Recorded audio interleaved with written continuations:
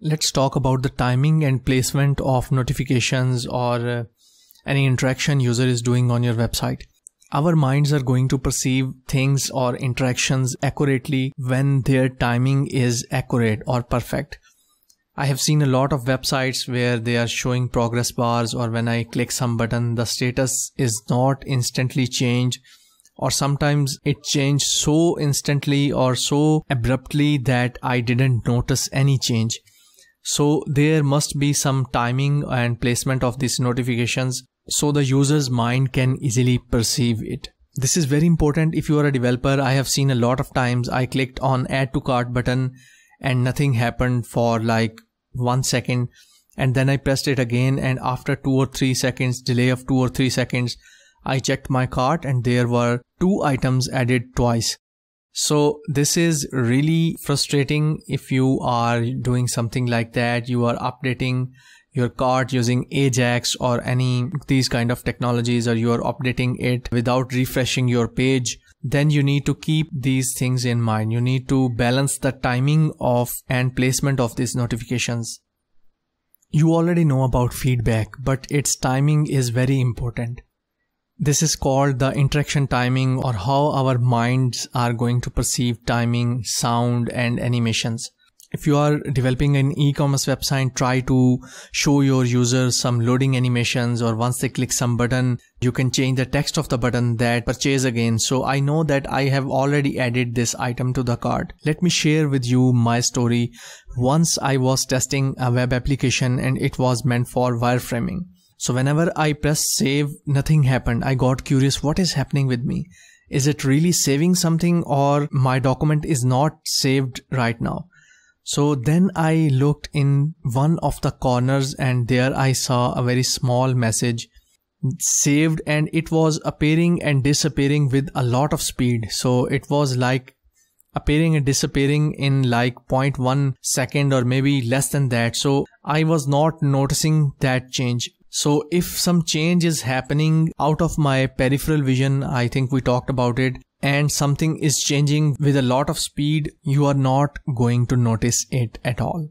Now here are some ways you can make your feedback or your notifications or your messages on uh, interactive elements better. First thing is if it is happening very fast, you need to show some delays in your feedback messages or your interactions the standard time is 0.2 seconds. So no less than 0.2 seconds or don't try to increase it to half or 1 second because after 1 second users are going to get worried. Try to use very different color very sharp color and a bit different place or a border around it to show that it is different from the whole page. You can also use some animations like fade and moving in and out on buttons or status bars or information messages notifications keep in mind that you need to match your human mental perception speed and your the speed of your interaction or animation so users can easily perceive what is happening.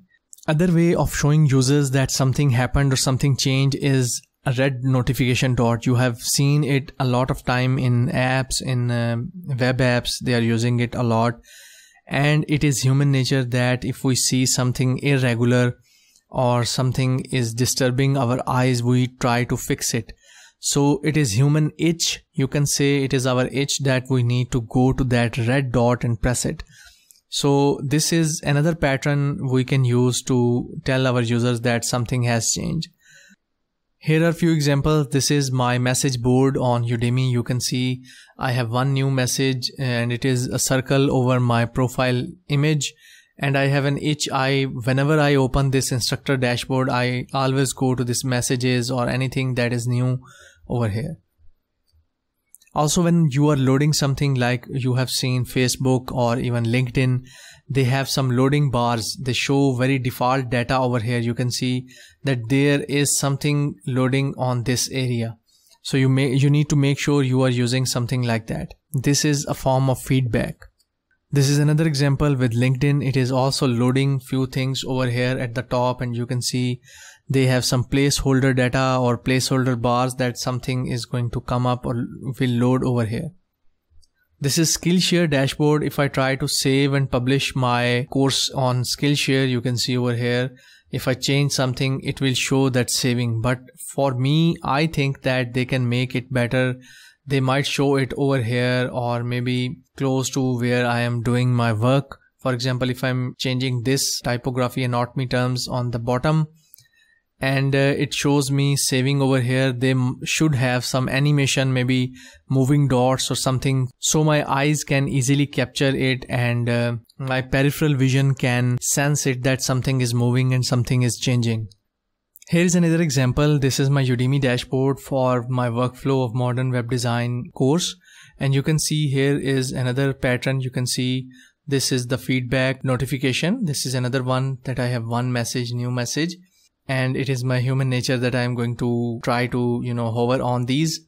And uh, if I go to this new coupon, let me show you another uh, example, create new coupon. Now, if I click on this create coupon, you will see what interaction is going to happen. And I have clicked on this one and I'm waiting. Now you can see nothing has happened till now so this is very long you can see somehow the app was stopped and there was some animation at the top that your coupon has been created and I saw it at the top but this animation should be very quick and it should show you the coupon uh, the message bar near this coupon or near my interaction area. Although they have used some animation at the top to get my attention that you're you are successful in your goal what were you doing? So i created this coupon code. So this animation should be very quick. It should be within 0.2 0.3 seconds not not slower than that so that was all about uh, notifications their timings and feedback timing and how you can use animations and delays in your feedbacks if you have any questions, do ask me. Let's move on to the next lesson.